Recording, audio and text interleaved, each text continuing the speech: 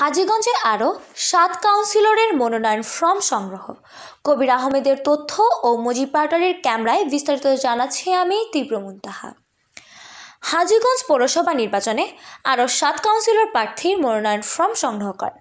বুধবার সকাল দশটা থেকে বিকেল পাঁচটা পর্যন্ত উপজেলা নির্বাচন অফিসারের কার্যালয়ে দায়িত্বপ্রাপ্ত রিটার্নিং অফিসার ও চাঁদপুর জেলা নির্বাচন কর্মকর্তা মোহাম্মদ তোফায়েল হোসেন এর পক্ষে সহকারী রিটার্নিং অফিসার ও উপজেলা নির্বাচন কর্মকর্তা মোহাম্মদ ওবায়দুর রহমান এর কাছ থেকে মনোনয়ন ফর্ম সংগ্রহ করেন।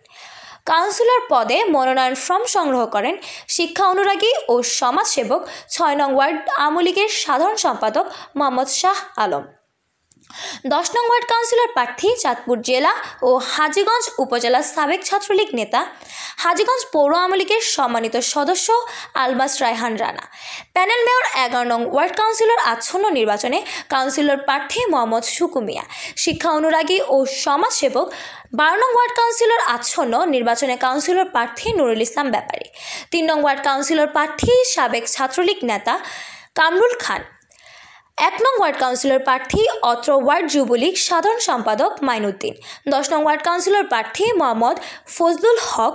মজুমদার সহ মোট সাতজন কাউন্সিলর প্রার্থী মনোনয়ন ফর্ম সংগ্রহ করেন। ওই সময় প্রার্থীদের সাথে এলাকার গণ্যমান্য ব্যক্তিবর্গ।